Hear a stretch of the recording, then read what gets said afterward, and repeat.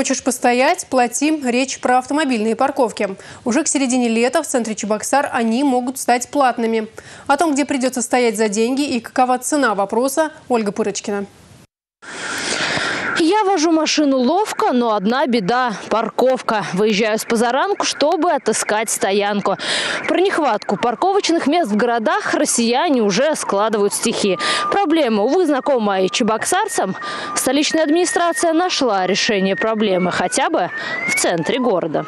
Когда проектировался и строился центр столицы Чувашии, никто не предполагал, что через несколько десятилетий значительная часть горожан будет ездить на личных автомобилях. Нынешний проспект Ленина, который проектировался как проспект Сталина, после знаменитого хрущевского постановления об устранении излишеств в архитектуре и градостроительстве, даже урезали по ширине на 7 метров. Метры эти не вернуть, зато можно убавить количество желающих оставить в центре свою машину. Видимо, так решили столичные власти власти. На сайте госзакупок разместили информацию о приобретении автоматизированной информационной системы парковок на платной основе. Пока известно о следующих площадках, где ее собираются внедрить. У площади Республики, железнодорожного вокзала, МФЦ на улице Ленинградская и главпочтамта. Если вы ну, обратили внимание, это, эти парковки располагаются, во-первых, это ЖД вокзал, куда невозможно подъехать, да? А, там в настоящий момент сейчас припаркованы машины э, либо жителей близлежащих домов, либо работников предприятий, которые находятся, располагаются рядом, привести, не знаю, там, родных, близких или самому приехать, а, уехать куда-то на поезде, оставить машину на парковке невозможно.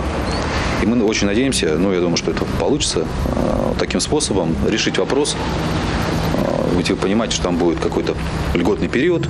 То есть те, кто просто приехал, высадил пассажиров, за это платить не будут, а те, кто приехал и оставил на какое-то время, да, будут платить, но там все равно плата незначительная. В настоящий момент тариф утверждает, то есть разрабатывается, ну, я думаю, что будет в районе там 25-30 рублей за час.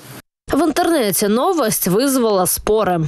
Повременная оплата, она нужна, но только на время пиков тех объектов. МФЦ, рабочее время, вокзал, поезд. А вот любителям постоять целый день – до свидания. Чебоксары – компактный город. Пройти 5 минут за 300 метров можно легко.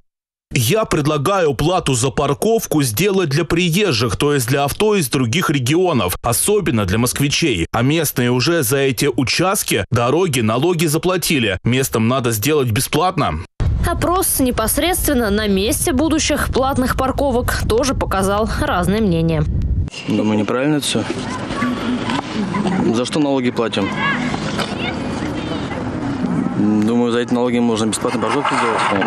Платная парковка будет, я думаю, будет удобно для всех. И для жителей города, и для жителей районов Чуваши. Почему?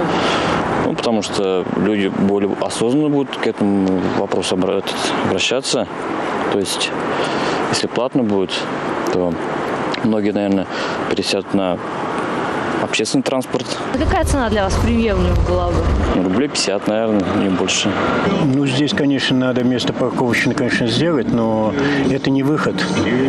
Если вот в Москве, я согласен, где они получают баснословные суммы, а мы здесь получаем педагог, я вот, например, получаю, у меня оклад 4 500. Что вы хотите с меня взять?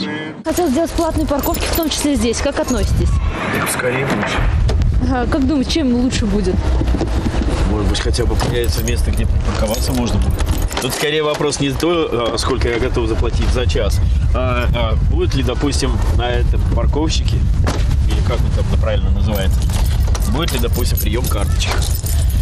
Потому что не всегда у меня есть наличный. Способ оплаты тоже имеет значение. Обязательным условием поставили прием платежей именно безналично. Это будет мобильное приложение обязательно, да? Это будет э, банковские карточки. Ну, такие общепринятые системы платежные. Как отметил директор управления жилищно-коммунального хозяйства и благоустройства, делается это не ради пополнения городской казны. В этом плане проект, наоборот, скорее всего, первое время будет убыточным. Автомобилисты начнут искать альтернативу. И тут всплывает новая проблема. Нетрудно догадаться, как платная парковка скажется на близлежащих дворах. Впрочем, это уже другая история.